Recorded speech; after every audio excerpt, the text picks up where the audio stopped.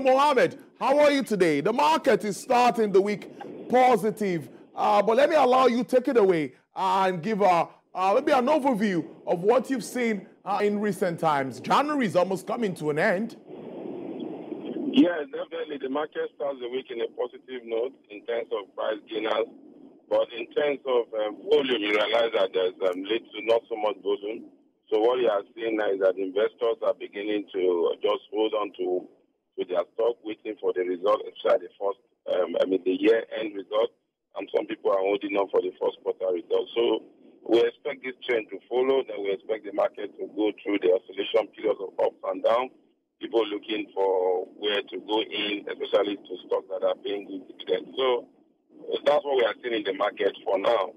Um, if you want to, if you look at the gainers that's making the market go up, then you look at them. Um, you could say outside of that, the market finished flat today.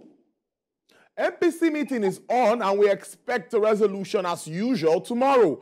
Uh, what are your expectations, and do you think it will affect trading in any form, even if it's the fixed income space?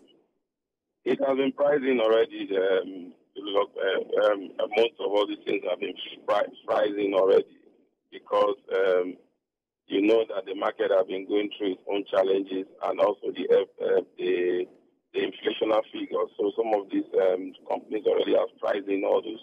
Investors also have priced it in, and when you are looking at, um, I think it's a little bit income space, we might see a little bit of uh, maybe a little bit of people reshuffling their portfolio.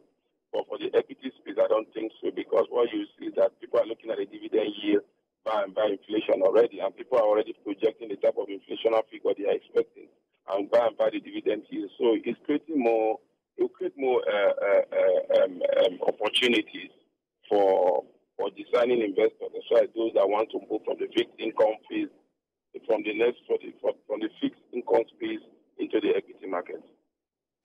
Mr. Muktar Mohammed, I must thank you so much for your time. Do have a productive week. You too. Thank you.